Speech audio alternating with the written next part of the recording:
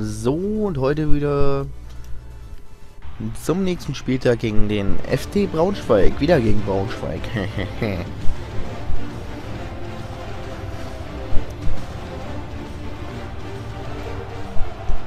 Schöne Einlaufsmusik, die gefällt mir immer noch. Auch am 27. Spieltag, wo schon fast alles entschieden scheint, dass Hannover aufsteigt. Wir müssen ja sowieso noch in der Reaktion kämpfen. Aber es wäre schön, wenn wir uns heute nach der Hinrunde, wo wir gegen Braunschweig hatten wir auch 1-0 verloren, uns rächen könnten. Husay spielt den Ball flach in den Straufen, aber der Schuss von Franke ist zu unplatziert. Tilling ist auf dem Posten und greift sicher zu. Nein, das wäre erstmal schön, wenn wir wirklich uns reservieren können. Und den Gegner zeigen können, das war nur eine Ausnahme. Und Chromik ist mit einer Ermahnung rein faul von dem Werk, der nicht einfach stellt und teilt das den Schiri auch deutlich mit. Der zückt darauf gelb für den Braunschweiger. Und wir sitzen wie es scheint mal wieder auf der Bank. Können was reinsprechen.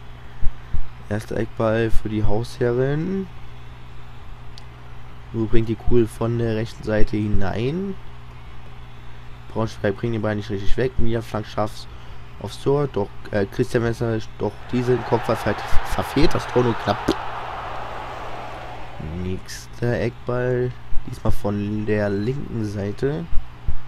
Nick Franke geht entschlossen den Ball entgegen und erreicht diesen Vorteil. Der per Flugkopfball kann also eine Ecke von Nuri klären. Nicht schön. BV Klom spielt hier die Pässe bevorzugt kurz, nee, ist klar. Wenn ich schlank einstelle, spielen sie immer kurz.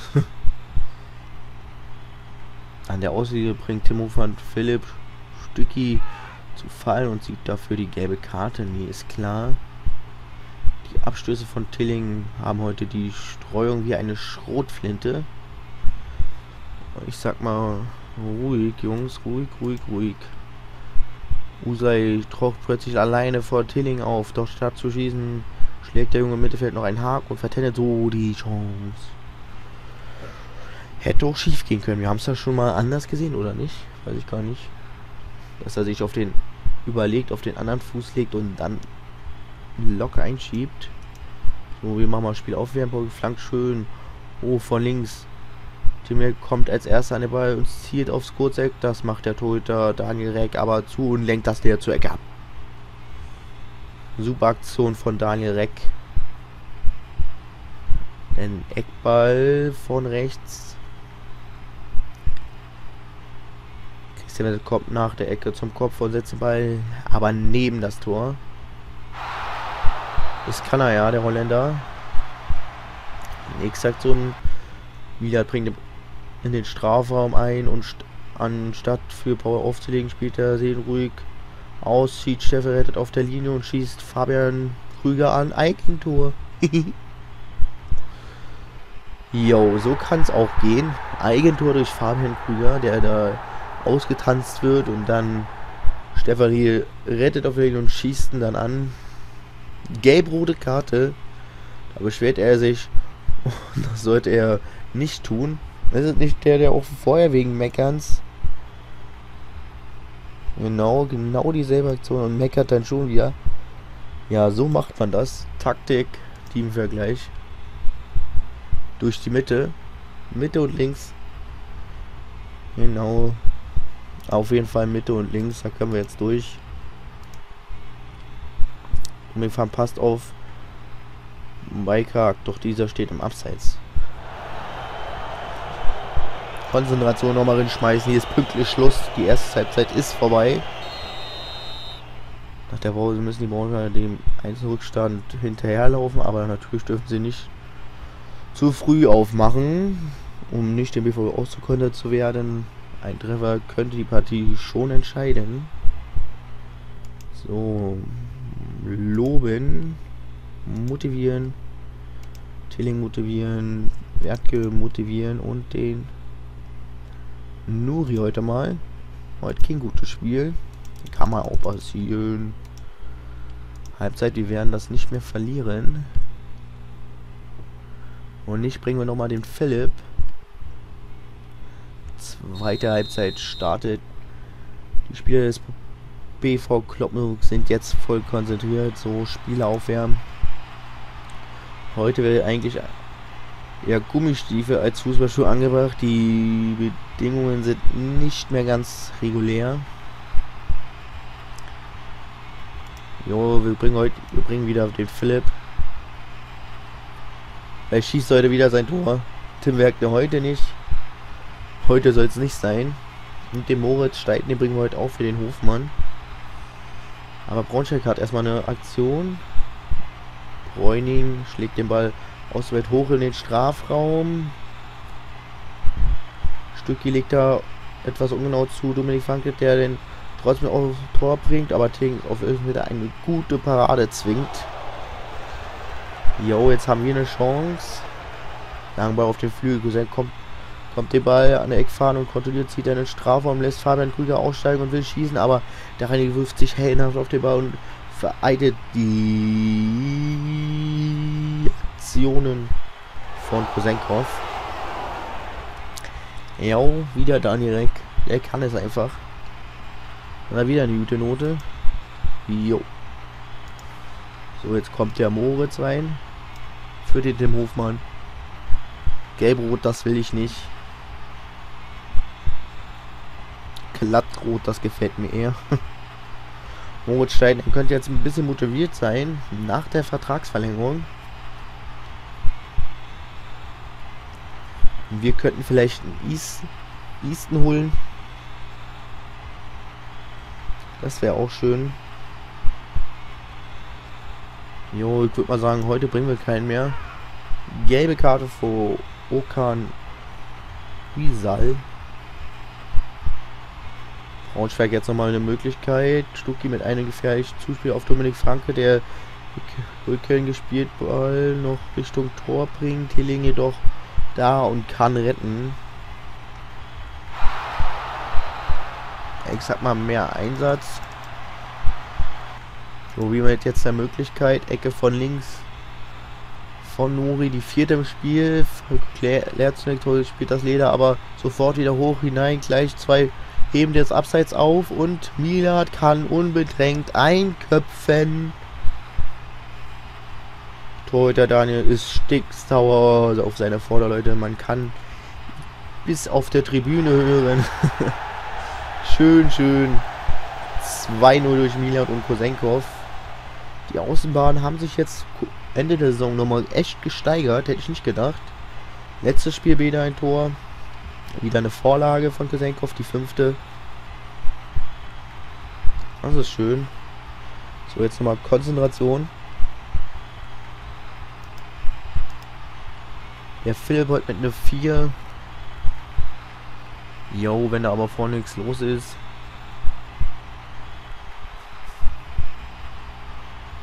Ich sage ich nochmal, geht nochmal drauf. Ich schieße wir noch das dritte Tor. Wäre auch noch was Feines. Oder nicht? Oder nicht? Ja, ja. 84. Jetzt geht nochmal drauf. Kurz vor der Tribüne. Drei Minuten werden nochmal nachgespielt. Statistik können wir uns ja mal angucken. Ballbesitz 58 in der zweiten 62. Schlusspfiff, wir gewinnen das Spiel 2-0. Mal wieder zu 0.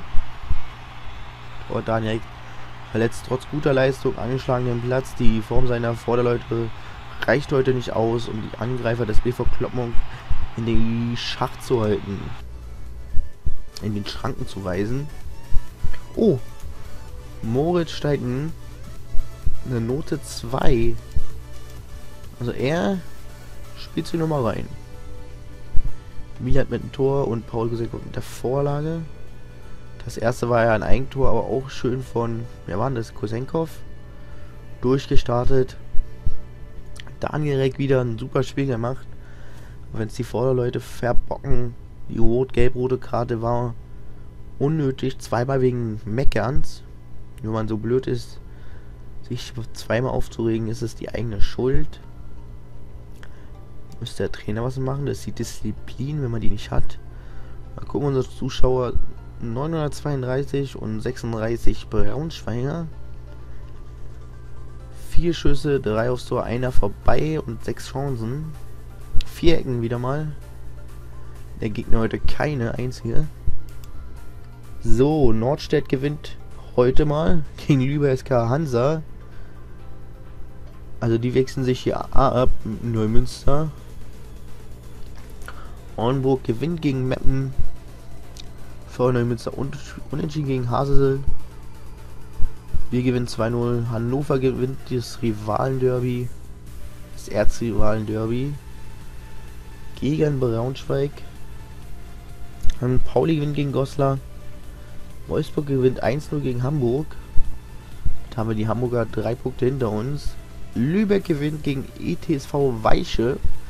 Deswegen können sie nicht wegziehen. Und Reden verliert mal gegen Bremen. Die hatten echt guten Lauf. Lübeck, Nordstadt. Und wenn Weiche echt noch Probleme kriegt, das wär's ja. Wir gucken mal, wer die Tore hier geschossen hat. Ach man, ey. Oh, heute hat wieder der Julian gespielt. 3,58. Die haben immer nicht so viele Spieler. Ach so, holen sie immer aus der Jugendmannschaft. Das ist es. Können ja mal in die Region Nordost gucken. BFC auf der neuen Neustrelitz Jena. Ein Zweier-Duell, wenn nicht, wenn einer von Babelsberg oder Nordhausen oder Berliner Karten. Richtige Siegesserie könnten sie da noch rankommen. Regionalliga West. Schalke. Ja, die müssen aufpassen. Sind nur 8 Punkte. Vor Rot-Weiß Essen und TSV Armenia Aachen. Aachen muss eigentlich in der, er in der zweiten Liga oder in der dritten spielen. Ein Traditionsclub. Oh. Kickers Offenbach, Freiburg zweite, die hatten ja dieses, die sind ja, wären ja eigentlich Aufstieg. Haben es aber abgelehnt, weil sie nur in der vierten Liga bleiben wollten. Kann man auch mal Kickers Offenbach, Mannheim, Saarbrücken und Elversberg. Ja, das ist knapp. Und TuS, Koblenz darf man nicht unterschätzen. Die haben eine Siegesserie. Das wird ja Unregional Bayern. Yo. Burghausen will, will mitspielen. Heute aber nur mit Unentschieden. Schade, schade. Dritte Liga, Cottbus, Bielefeld. Und da die Zweitmannschaften ja nicht zählen, ist da der dritte von hier. Duisburg, Osnabrück, Wien, Hansa Rostock. Ja, bis Dresden könnte könnte man schaffen. Kiel rettet sich raus von 16 auf 13. Bergis Mannschaft. Stuttgarter Kickers, die waren noch eigentlich auch abgeschlagen. Probieren sich auch nochmal rauszuretten. Und dann gucken wir mal in der zweiten Liga. RB gewinnt 4-3 gegen Nürnberg und lang 3-0 vorne. KSC ist ja in Wirklichkeit auch stark wie Braunschweig. Darmstadt mit Unentschieden und gleich mal auf Platz 12. St. Pauli wie in Wirklichkeit auch da weit unten. Erzgebirge, Aue, Sandhausen und Heidenheim, die kämpfen um den 16. Platz. Die Bundesliga. Bayern dominiert. Leverkusen, Dortmund und Schalke kämpfen um die Champions League. Und Hannover und Gladbach sind eigentlich gesichert vor Stuttgart und Wolfsburg und die TSG und Hamburg und Köln und Frankfurt. Bremen mit Unentschieden gegen Mainz. Hätten sie mal gewinnen sollen. Ich glaube, die steigen aber weiter ab. Freiburg heute verloren in Köln. Jo, das kann sein. Das ist es dann. Die schottische Liga. Ja, zählt ganz locker. Habe ich geguckt mal wegen dem Baumade. Baumada. Tore schießen, keine kriegen. Ein Fan aus Klommuck, ne? Der unbedingte Wille, ein Tor erzielen zu wollen, hat gefehlt. Und bei den Gegentoren müssen wir einfach besser verteidigen. Der BV Club hat eine individuelle Klasse. Das nutzen sie. Oh ja, der wollte nicht zu uns. Haben wir den Jan Meier. Sebastian Heidel. Kias Dinner. Jo. Keiner von uns. Ja, nur 3,09. Kann man, kennt man besser von uns. Ja, hat er auch nur einer an Tor geschossen. Wenn man so überlegt. Fairplay. Ja, ja. Wenn der nur der Mine hat getroffen, der Moritz steigt man, ja, aber. Was haben die denn? Ja, die TSV Weich nicht verloren 3-1? Nee, ist klar. Hat man eine super Note. Der Goslar haben das Kunststück fertiggebracht, seit mittlerweile fünf Spieltagen auf Platz 8 zu verweilen. Oh, das erste. Der erste gegen den zweiten. Das machen wir auch im Textmodus, weil ich glaube, wir kommen da nicht mehr ran. Deswegen müssen wir uns das nicht extra angucken. Ja, schade, aber so ist es, ne? Angekündigt Prim Siegesprämie, yo, 790. Dann geben wir gleich einen Sponsor und geben ihm mal Freikarten. Und Geld bitten. Oh, oh, er gibt uns 3000 Euro. Ein netter Mensch. Du kannst mal einen Verein retten, Sponsor. Du kannst es schaffen. du bist es. So. Sehen doch gut aus, die Jungs. Machen wir weiter. Mal sehen, ob der Mann aus Island es annimmt oder nicht. EV Kloppenburg hat Interesse an Atli wieder Börnson. Bisher scheint alles möglich. Sponsoren bezahlen Siegprämie. Das wäre doch was Schönes, oder? So einfach so ausländischer Takt in der Mannschaft. Lehnt Wechsel ab. Na schön, du Arsch. Redet man von außen.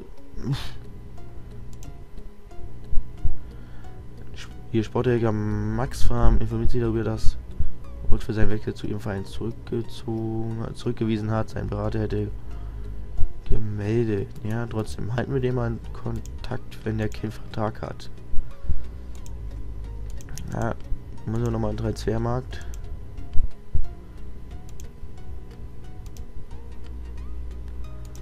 Nur die beste Position. Da war doch dieser, äh Oh, der hat wohl verlängert. Getan. Wer kann getan? Kommt der denn her, wenn er schon... Ah, ach, was du... Was, was, was, der war bei Bayern. Von neun Jahre. Halbes Jahr ausgeliehen. Bielefeld ausgeliehen. Bayern zurück Galata. 41 Spiele, 9 Tore. Chester, Lautern. TSV 8060 München. 37 Spiele, 20 Tore. Oh jo. Marcel Kunstmann. Osnabrück. Aha, aha. 67. Auch so ein schöner Ersatz. Oh, Publikumsliebling und professionell. Links und rechts kann er abschießen. Wo war der denn schon überall? Also nicht einmal in der ersten Liga. Hat auch schon 13 Tore geschossen. Und dann gucken wir mal. Links außen. Daniel Wild. Rechts außen. Manuel Raps nochmal probieren. können ja jetzt mehr Gehalt anbieten. Warte mal. Warte mal, warte mal, warte mal. Spielersuche. Ins Blickfeld aufnehmen. Blickfeld. Wo ist er denn da? Ich will dich in mein Team haben.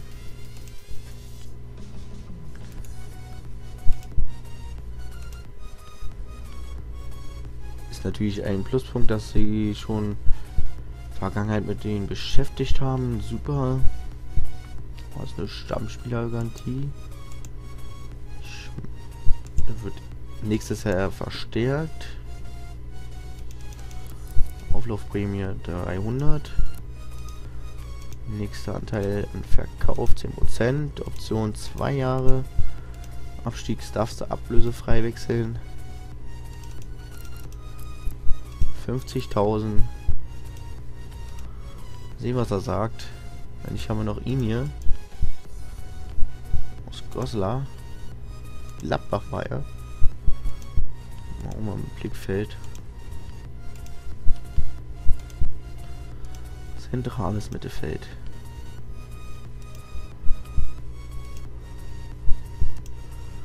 Linkes Mittelfeld. Einfach mal gucken. Marcel Schug. Schurk. Rechts. Groß. Ja, keine starken. Defensiv ist mal, guck mal, Innenverteidiger nochmal. Mike Baumann haben wir ja eigentlich jetzt. Nee, Rechtsverteidiger brauchen wir eigentlich. Anderer Satz.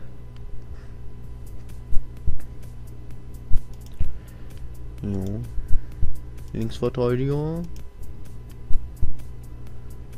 Stefan Neumann. Carrie Murphy. Schotte.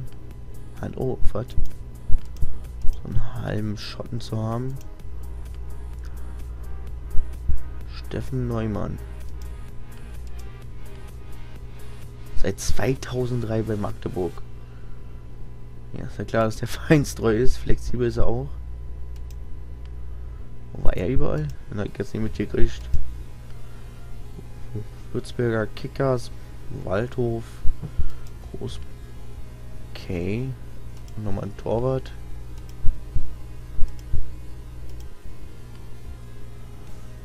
David Buchholz.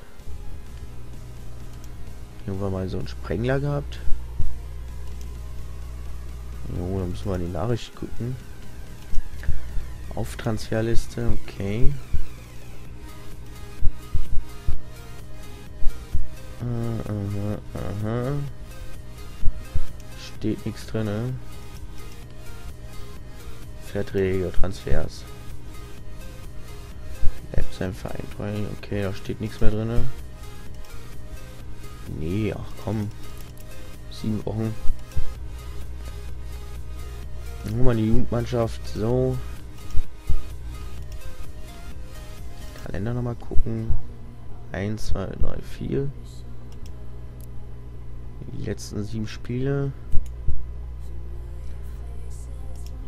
Abschlussfeier natürlich. Ja, dann machen wir mal da unsere Spielauszeichnung. So.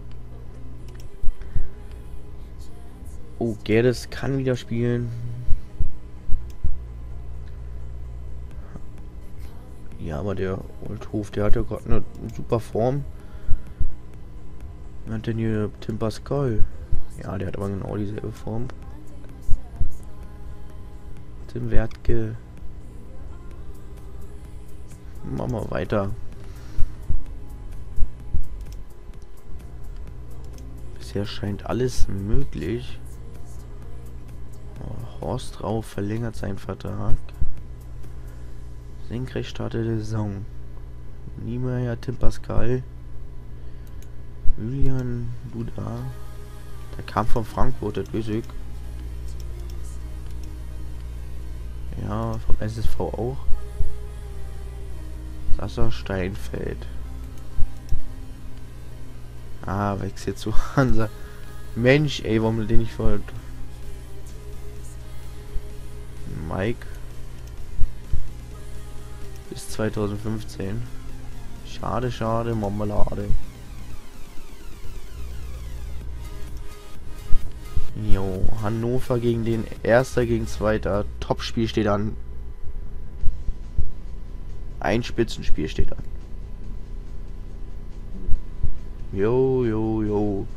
Ole, warum? So, ungelesene Nachrichten. Ja, Mann, ey. Nicht interessiert. Verlängert sein, bleibt sein Verein treu. Kickers auf meinem Interesse. Haben wir jetzt einige im Blickfeld.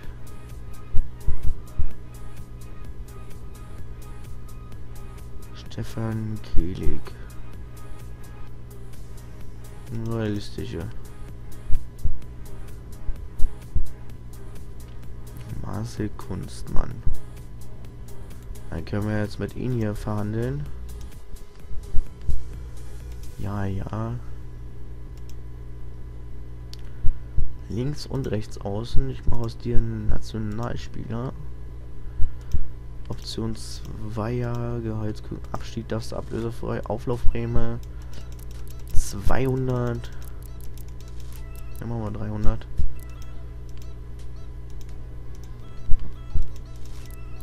Wie könnte man denn runter? Dann sind ja die 35 eigentlich mal ausreichend. 15.000 Handgeld. Ist er hier?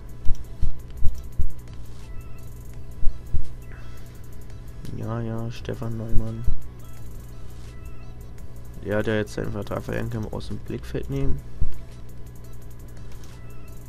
Ja, der müsste eigentlich ohne 50 haben. Das ist nicht so gut. Also hat seine Klassen, aber ja, bei Bayern. Natürlich gehen wir mal in der Teamdynamik mal in schnell die Gespräche. Philipp, du hast gut trainiert. Will dir nochmal Angebot machen. Erwartet. Spannend nächste dann. Möchte dich eigentlich bald. Machen wir das mal hier und machen wir mal gleich hier. Was war das da? Was war der zweite da? Schnelles Angebot? Jo. Alle Zahlungen erhöhen sich um 10%. Aktuell.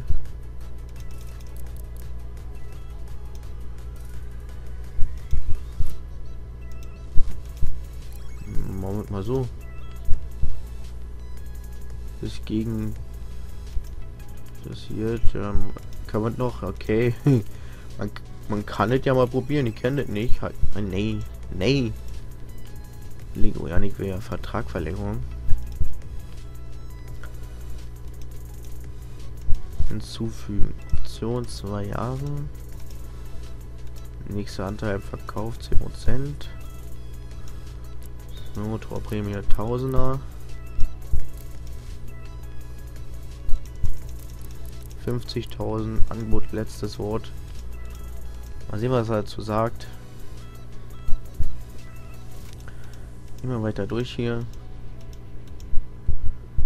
André Toben, okay. Ulthof. Oh, ist gut. Siegfried schon. Milat. Okusenkov. Andreas Moritz Steiten. Ein super letztes Spiel. Und Nuri. Teamhierarchie. Aufgaben. Kapitän. Natürlich der Paul. Freistöße. Einmal Eckbälle. Ecke von links. Steh links. Mit dem rechten Fuß. Kommt gleich rechts raus. Machen wir mal so, dass wir ein bisschen Abwechslung haben. Gehen wir nochmal die Taktik hin und machen wir das hier schnell fertig. Jo, ohne. Pro Kopf auf jeden Fall schützen. Suleimani. Rankov auf jeden Fall. Vladimir Rankov. Der wird ja ausgeliehen nach Erzgebirge Aue. So, dann speichern und dann sehen wir uns gleich wieder und ich hoffe, ihr schaltet auch wieder rein, wenn es heißt Erster gegen Zweiter. Bis gleich. Ciao.